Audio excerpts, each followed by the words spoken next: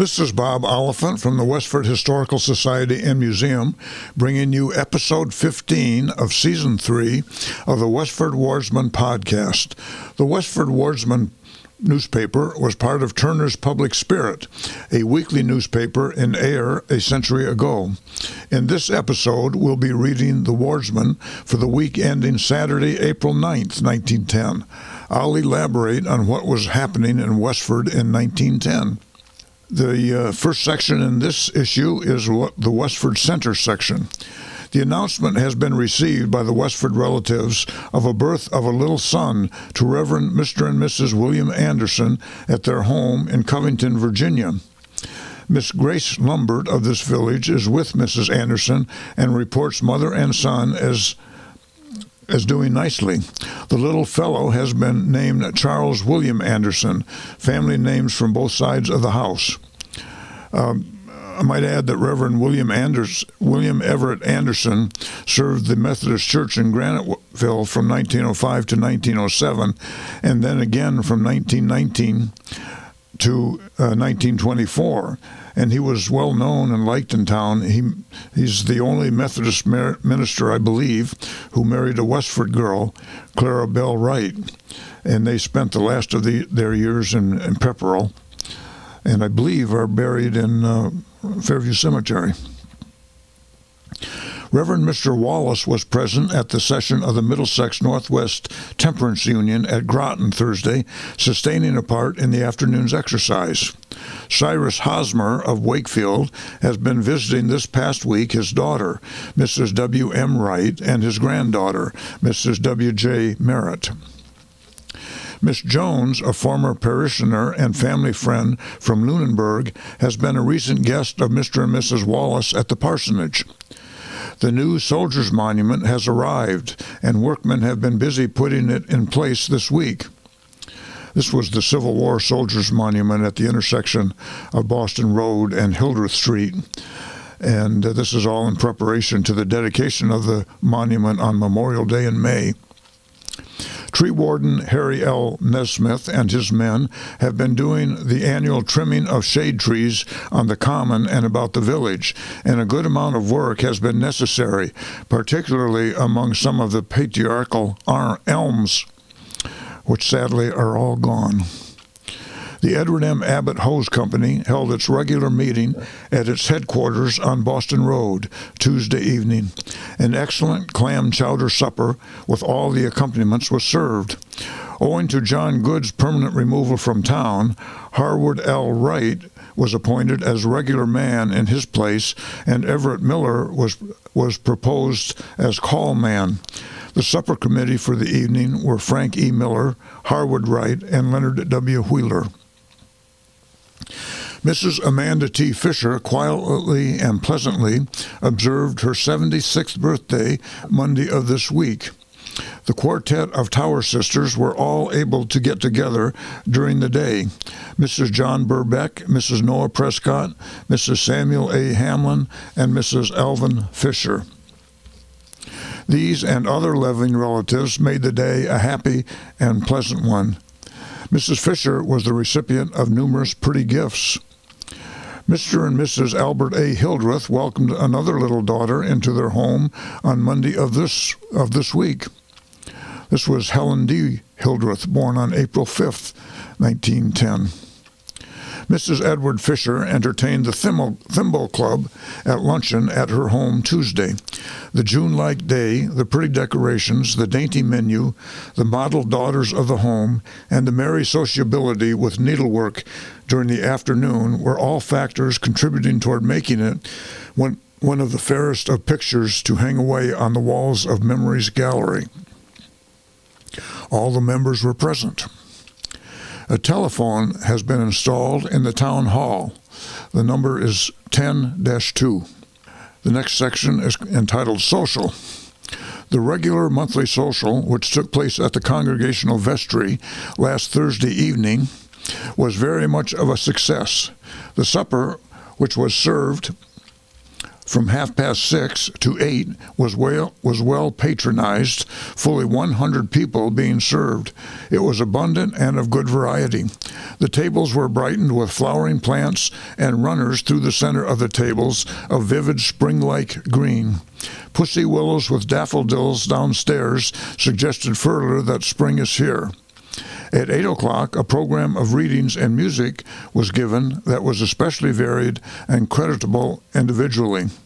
There were, no, there were piano solos by Sadie McMaster and Hazel Hartford, readings by Miss Martha Taylor and Mrs. Gould, and vocal solos by Edson G. Boynton, Cyril A. Blaney, M.D., and John S. Grieg. After this was an elephant party, which consisted of a lot of articles sold at auction. Samuel L. Taylor served as auctioneer, and his stand was appropriately decorated with a large, well drawn elephant. This caused much merriment, and many white elephants were exchanged. The capable committee in charge of the evening were Madams E. G. Boynton, S. L. Taylor, J. E. Knight, J. L. McMaster, and Florence Isles a good sum was turned into into the amount which goes for improvements and repairs. The next uh, couple paragraphs are about the arrivals from Florida. Genial Fred A. Smith returned home Saturday of last week after his winter sojourn in the warmer climate of Florida and brings with him the wider outlook and enthusiasm that seeing other places and people brings to the average person. He combed he combined business and pleasure as much as possible and has much to report to the home friends whom he is glad to be with again. He was gone three months and five days, and during that time was in 11 cities, seven towns, and six counties. While in Florida, his journeyings took him the length of the St. Johns and Ocklawaha rivers, temperatures varying from 34 to 100 degrees. On the homeward trip, three days each were spent in Washington and New York.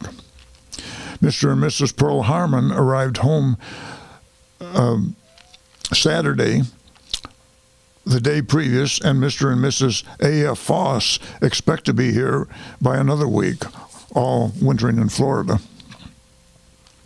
Next comes the About Town section. Fire started in the woodlot of Amos B.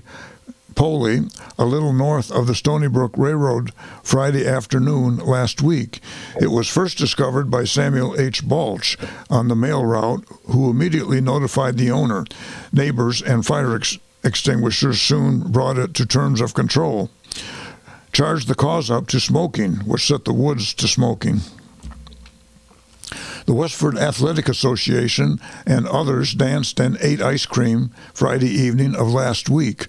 A Lowell Military Orchestra furnished the music for the dancing, and Albert Reeves of Graniteville furnished the food supply.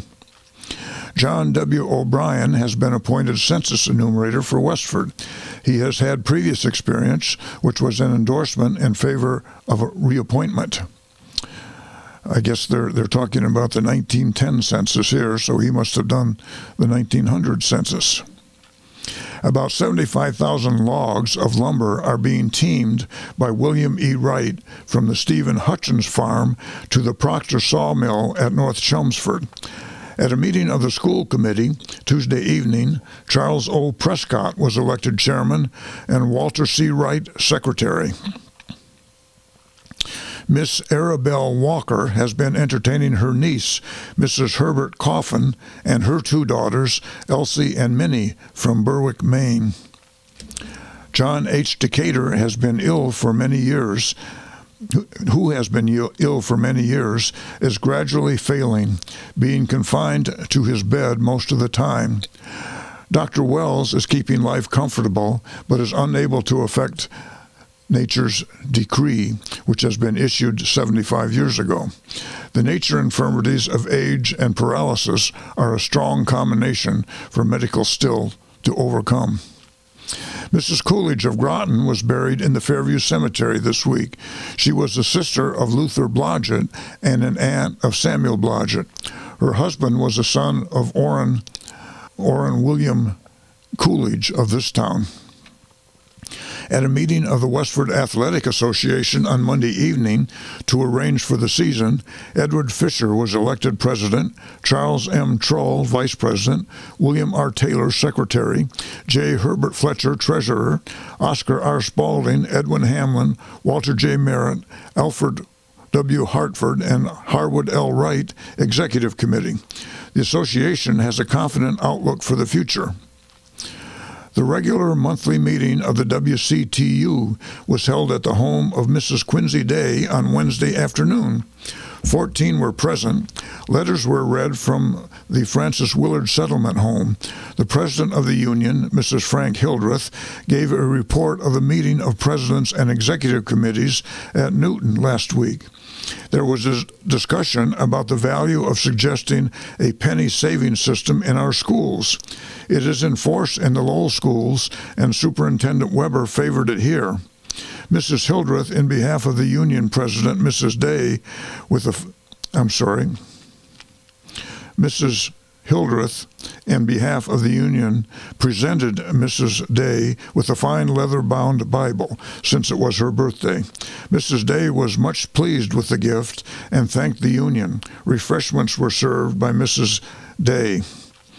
Mrs. Day was born Ada A. Sharp on April 6, 1864, in New Brunswick, Canada, and married Quincy Day, obviously. Entertainment is the next next uh, section. The Fortnight Club, which includes everything in town, still continues to furnish entertainment, wholesome and strong, plain, light, laughable. They are to be cheered for their record of service. Last week, Friday evening, was one of their Dare and Do programs.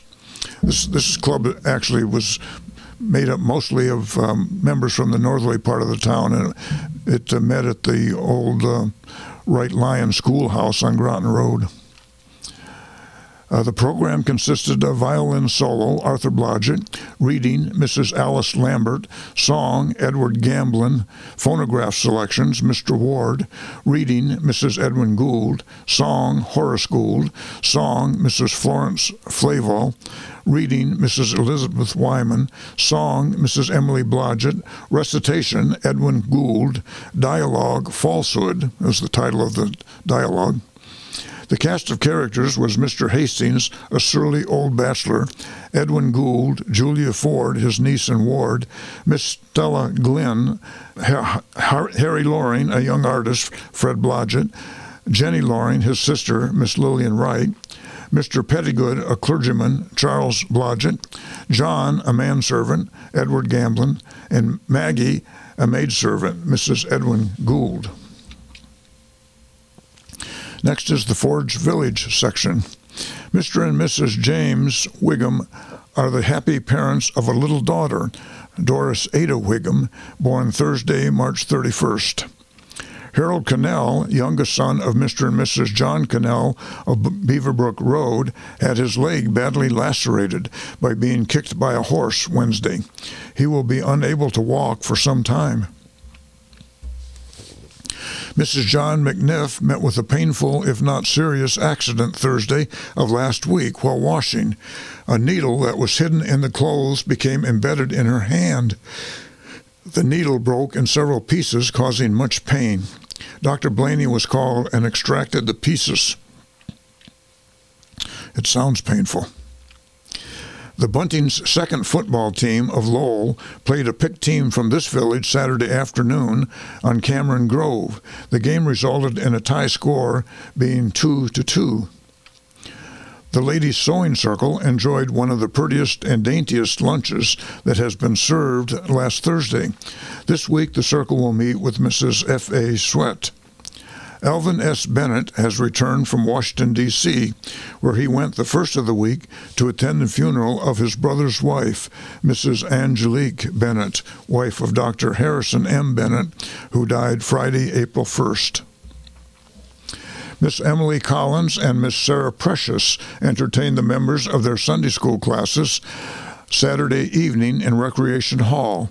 The long table was arranged to accommodate all of the children and was daintily appointed. A delicious supper was served at six o'clock. The remainder of the evening was spent in music and games. Each child received a pretty souvenir of the occasion.